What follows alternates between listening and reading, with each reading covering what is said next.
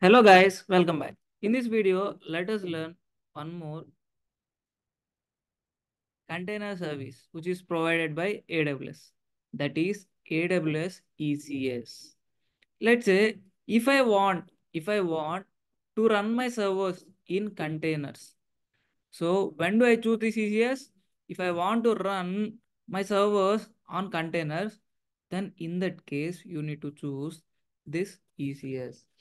That is, let me write that point. When do we choose this ECS? If you want, if you want to run servers, if you want to run servers in containers, then you choose this ECS. If anybody asks you, where do you run your workloads, that means batch of workloads, then you need to answer AWS batch. So if you want to run your batch of workloads on containers, then AWS provides you batch service to run those batch of containers in AWS. So if you want to run servers on containers, then what service you need to choose? You need to choose AWS ECS. What type of servers can I able to run, sir? You wish you can able to run web servers, you can able to run application servers, like that. Many other servers you can able to run on this ECS by using what? Containers, right? Yeah. So where do we run, sir? Where do we run these containers? These containers runs under clusters. What? These containers runs under clusters. So what is cluster? Cluster is nothing but group of group of your computing services or else group of your computing yeah group of your computing services. So group of computing services what do we call? We call it as cluster. Sir can i say let me pick a compute service that is ec2 let me let me create a group of such ec2 such ec2s let's say this is a place where i created a group of ec2s that is this is one EC2 and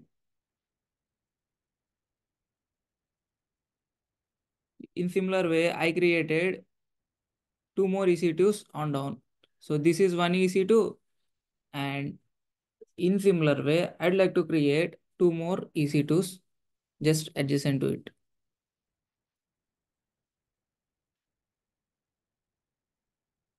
So let's say I created two more EC2s here. Okay. Sir, can I say, can I say I have now a group of computing services? Yes. You have certain set of group of EC2s there. So can I call this group as a cluster? Yes. You call this whole group, you call this whole group as clusters. If you want to maintain, if you want to maintain multiple EC2s, then do you need to do you need to can you able to uh, that means uh, do you need to provide the infrastructure? Yes. So you need to choose what are the infrastructure what are the things that you require. Those things that you need to choose. Let's say this is a cluster. Because it is having a group of ec2s and by using ec2s only can i able to create? No so if you want to if you want if you want to launch EC2s, that means if you want to launch your servers by specifying whatever the operating system that you want. So whatever the operating system, what are the infrastructure that I need to maintain, then you can choose EC2. When do I choose Fargate, sir? So you can able to choose AWS Fargate as well. AWS Fargate. Whenever you don't want to maintain you don't want to maintain the servers, then you can able to choose this Fargate. In this Fargate also, you can now able to, um, in this Fargate also, AWS creates these EC2s only. But the only change is, but the only change is, if you create EC2s by your own, then who will maintain those EC2s? You only, right? But in Fargate, who will create these EC2s for you? AWS. AWS will create and manage and maintain everything for you. Whenever you provide, whenever you provide an image to run in containers, then this in this Fargate, based on some algorithm, your image is put in any one of the server and that was run in the form of containers right yeah so where do you run where do you run these servers are containers in ecs where do we run these servers we run these servers in containers. So where do those containers will run? These containers will run under cluster. So based on the cluster you choose in that cluster your containers will run. So while choosing while choosing these clusters you have multiple options.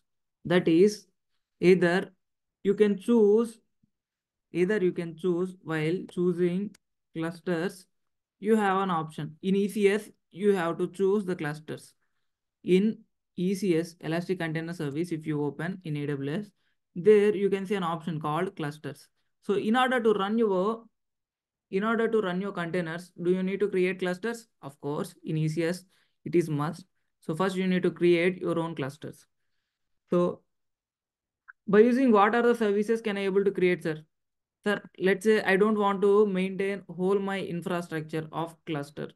That means group of servers, right? Cluster is nothing but group of compute services. So I don't want to maintain like this. I don't want to maintain my group of services. Then which cluster you use? Fargate. Fargate is the cluster. Uh, by using the Fargate service, AWS, you can able to create cluster without focusing on infrastructure. Let's say I want full control over my infrastructure that is created under cluster. Then which service do I need to choose here? You can choose EC2. You can choose EC2 where let's say I choose my EC2. So in my cluster, in my cluster, do I have only one EC2 instance? No, right? I have multiple EC2 instances. So to specify that, I need to provide minimum number of EC2 instances that my cluster have and maximum number of EC2 instances that my cluster have, right? Yes. So in order to create this EC2 instance, can I tell what is the operating system which runs on under this EC2 instance? Yes. So that also we need to specify if you choose EC2 and you have another option that is external EC2s. That is if you mm, this ECS also provides you to use on-premises servers. So by using this external, by using this external EC2s, you can even use the compute service which which is available from your on-premises. Okay. So now let's say, sir, how many how many compute services that I can able to choose at a time in cluster? You can able to choose multiple compute services as well. So let's say, can I choose only EC2 for creating this cluster? Of course. Can I choose only Fargate to create, create this cluster? Yes. Let's say now in this case, I wish I wish to choose both EC2 and Fargate. I, I wish to choose both EC2 and Fargate. So I have chosen this EC2 and Fargate. Then how my cluster will be? Your cluster will be like this. You have Fargate one side and you have EC2's one side. It will be created like this. So now, where can I run my task? Where can I run my task? In these servers, right? I have I have created a clusters. There I have my servers. So there my task will run, right? Yeah. So my task will run either in this Fargate or else in this EC2 instances. So can I say to run my task, do I need to tell, can my, to run my task, let's say if I choose EC2, if I choose EC2s, then to run my task, that is nothing but to run your server's code. Now, do, do I use only one EC2? No, right? I can use multiple number of EC2s. So can I need to specify how many EC2s, that is minimum number of EC2s and maximum number of uh, servers that I need to host my server, host my website? Yes. So you can you you can specify those minimum and maximum number of uh, servers let's say I have more traffic, then do I need auto scaling? Yes. So if you choose EC2, if you choose EC2 while creating your task, then you also need to specify auto scaling group. So let's say I choose, I want to choose from Fargate. Since I have created EC2s or else Fargate servers. Then in this Fargate, how many types of servers do I have? I have on-demand servers and I have ability to choose spot servers, spot servers. That is Fargate spot. If you choose Fargate spot, then to run your task, if you choose Fargate spot, then where your servers will launch, your servers will launch at spot instances in this Fargate. So you don't need to worry about uh, spot instances, instances launching and all. It will be taken care by whom? AWS, since it is providing everything for us in Fargate. So if you want to maintain servers infrastructure, then which you need to choose? EC2. Okay. So in order to run, in order to run task, I need to configure task, right? Yes. So where can you configure, sir, in this ECS? You have under ECS, you have tasks. You have task definition. What? So under ECS, you have task definition. There you have to define your task. So where my task is present actually? My task is present at Docker container images, right? Docker images. So since I'm running my servers in the form of containers, in the form of containers, what can I able to run containers? Uh, by using which code I can able to run containers? By using Docker code only, right? By using Docker images, I can able to run my containers. So first you need to write your application code and then you can use that code to run that application code. You use Docker images and by using that Docker container image, you can able to run you can able to run this Docker container image in clusters, in ECS clusters. So for that, first, in task definition, you need to specify what is the Docker container image that you want to run. Since the Docker container image will contain everything that you want to run. That is your application and its dependencies. So I hope you watched the previous video where I have told you about how Docker files will run on your containers how Docker files run on actual Docker platform. So if you don't watch, then please go and watch it so that you can have a good idea on how your Docker images run on your Docker containers. So here you need to specify the Docker containers at first. That means to run your code or you to perform your task, you need to specify in the task definition what is the Docker container image that you want to run. And then you need to select what you need to select? You need to select a cluster. That means you have already created cluster, right? So in this cluster, which service that you want, which service that you want to use for running this task that you also need to define.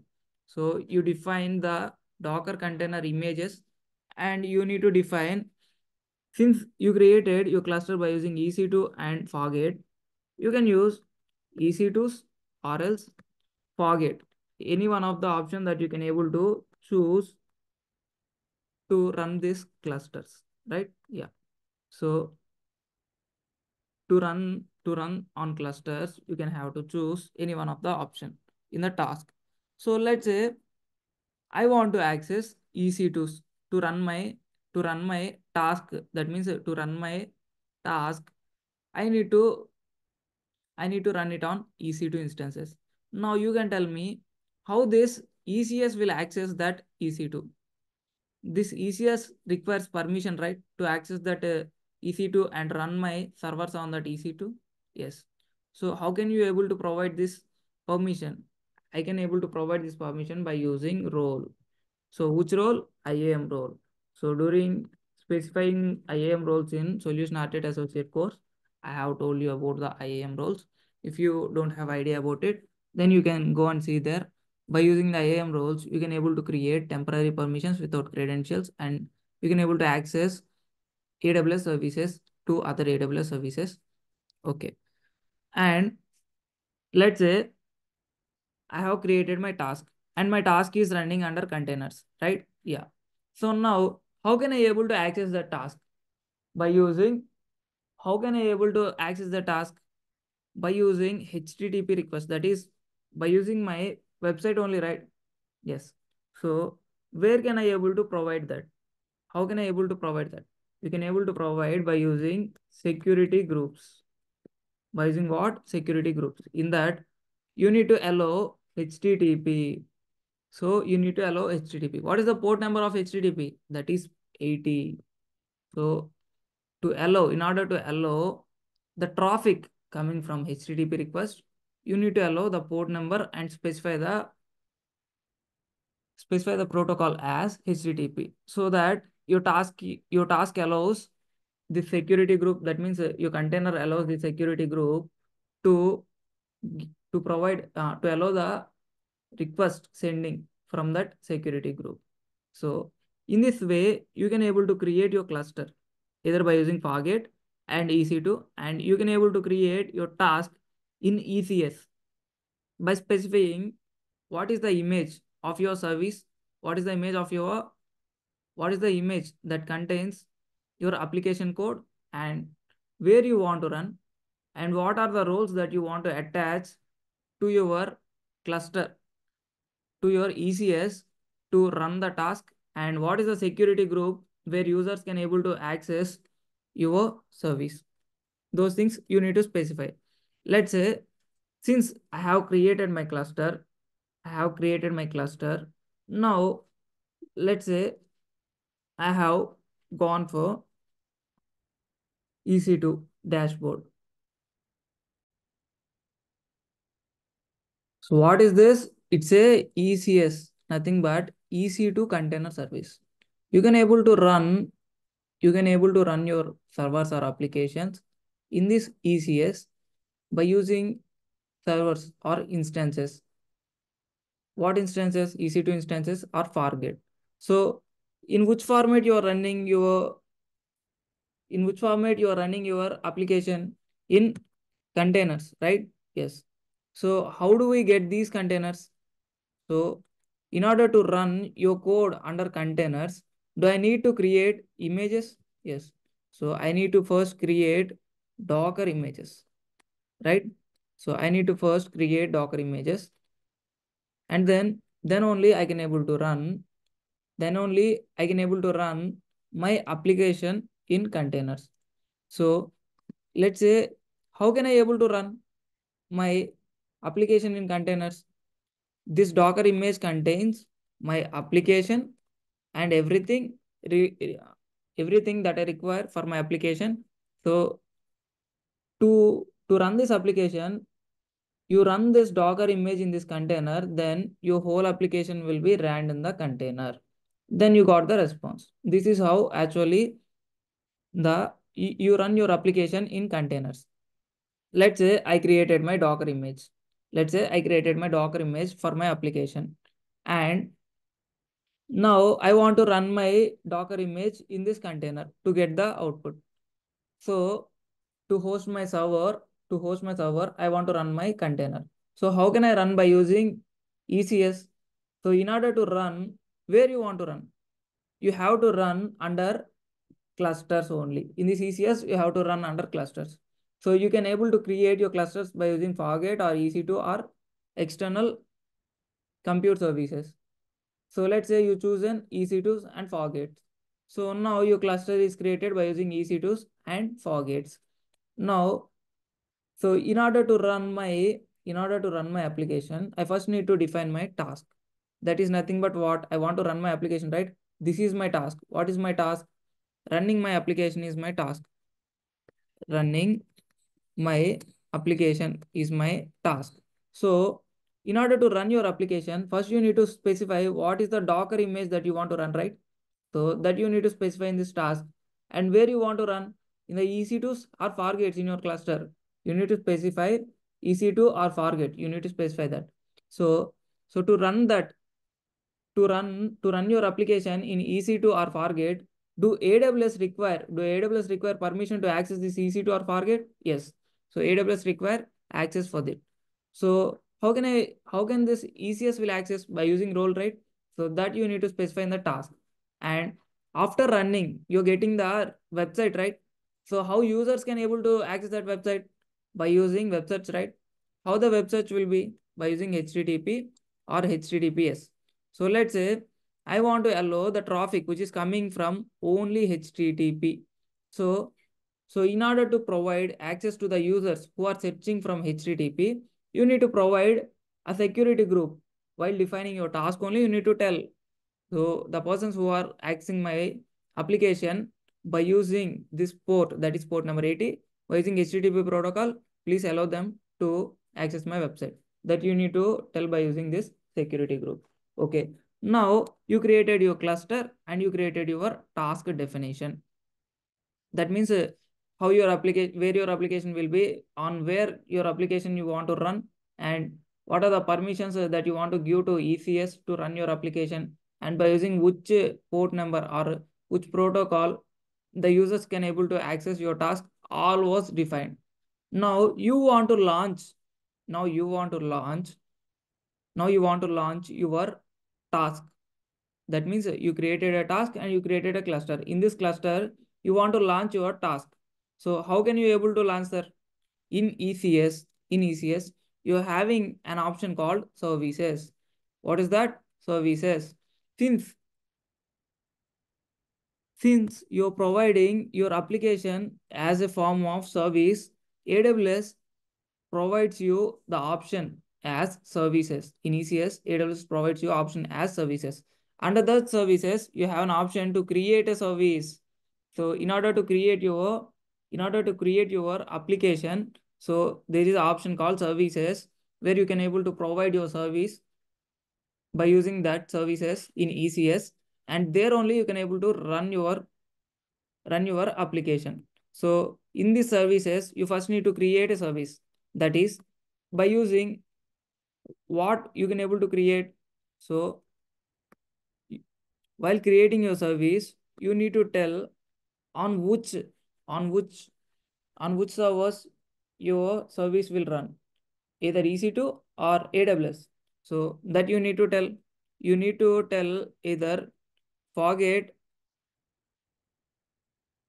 either Fargate you want to run your instances uh, you want to run your application or else under ec2 you want to run your application. That you that you need to tell at first during by using this launch type in ecs okay i have told where either Fargate or EC, ec2 where my application will run that I have specified. Okay.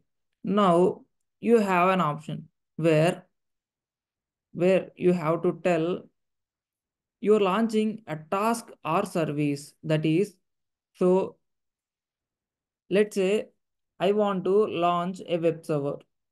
For how much time I'm running that? I'm running for I'm running that web server. Uh, I'm running that web server for long time, right? Yes. So that you can able to tell by using service. If you select service, then you can able to tell that application type as you need to provide what is the application type, whether it's a task. That means task will just run once and then it stops, right? Same like in batch. If you want to execute batch, batch in this ECS, then you can able to execute this by using task where you can able to run a group of services or a task or a job in a single time. But if you want long time service, if you want to provide servers, that is web application servers or database servers, then how can you tell that it's my application type is my application type is like that web server or application server. There you need to provide the application type as service. So whenever you say service, then your application type will be chosen as this server type only. Now, now, in order to run, in order to run my application, do I need to tell, do I need to tell run this task? Yes. So to tell, to tell which task contain your application which task contain your docker image where the docker image has your application that you need to tell under family where family. So you have an option to select your application docker image by using this family okay so in order to run in order to run your application seamlessly and provide services for users effectively so do do i need to provide do i need to provide auto scaling yes you can able to provide auto scaling for your servers so let's say i have a lot of traffic so in order to overcome the traffic, do I need auto scaling? Yes. So how can you able to provide uh, that auto scaling in this ECS? Here only you need to tell load, you need to attach load balancer. So here only you need to attach a load balancer to your ECS. Okay. Yes. So let me revise you back these things. So what you're doing in this ECS, you're just running your servers in containers by using this ECS.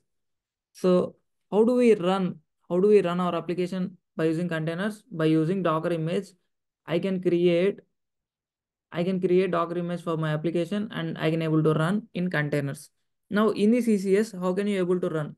So in this ECS, in order to run my applications, first I need to provide my Docker image, right? So that you need to define so where you have to run these, you have to run these under clusters. So first you need to create your cluster by specifying what are the parameters that you want. So next, next you need to tell, you need to tell what is the task you, that you want to run, right? So where your task will be, your task will be under Docker container image. So that you need to provide under task definition and what is the structure that you want to use and what are the roles and permissions that require and by using which port a user can able to access your services that also you need to specify that's it then in order to host this task definition on your cluster you need to tell right? Yes. So if you go to your cluster then you have option called services. There you can able to create there you can able to create a single service.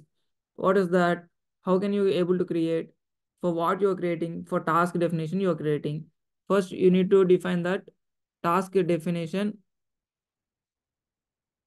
in the family type so after you specifying the task definition now now this cluster got now you define that service is task definition family and you need to tell what is the application type whether it runs for long time or short time if you want to run your web server, then you need to run for long time, right? Then you need to choose service. If you want to run your, if you want to run your code for short term, that means if you want to run your batch workloads, then you need to choose this task. And where you want to run, that also need to specify, right? So if you want to run EC2, that you need to specify EC2. If you want to run on Fargate, then you need to specify Fargate. So to provide to provide high availability, do we need load balancer? Yes, of course, we need load balancer to provide high availability. So after this creating service, whenever you run that service, then your application will be launched and ran. Now, now you can tell me where your application DNS will be, where your application DNS will be. That will be present with this load balancer. You can go and pick the load balancers DNS, load balancer DNS from where? From EC2 or else Fargate. And then from EC2, you, you just need to pick that load balancers DNS and you can provide it to your clients. Then from there, you your clients will able to access your website. So in this way, we can able to host our applications in ECS. Now let us analyze whether ECS is a regional level service or global level service. Elastic Container Service is a regional. So why why do you say it's a regional service, sir? Since you are providing since you are providing load balancing and auto scaling, so in order to provide auto scaling, do I need to create servers? Yes, I need to create servers. So where uh, can I able to auto scale? Can I able to auto scale in multiple regions? Yes, I can able to auto scale in multiple regions, but where my servers present in a in a availability zone, right? In availability zone, my servers are present. If I want to auto scale my servers, where my servers will be increased in the same data center, right? In the same availability zone. So can I say in particular region, in which availability zone I have created my servers, there my multiple EC2 instances will span, yes. So EC2 instances can span multiple availability zones in the same region only. Clusters are scalable. That is, EC2 instances are scalable. You can able to scale instances in a region. So clusters are scalable in a region only. So EC2, ECS is a region, regional service. So that's why ECS is a availability zone level and ECS is a regional level service.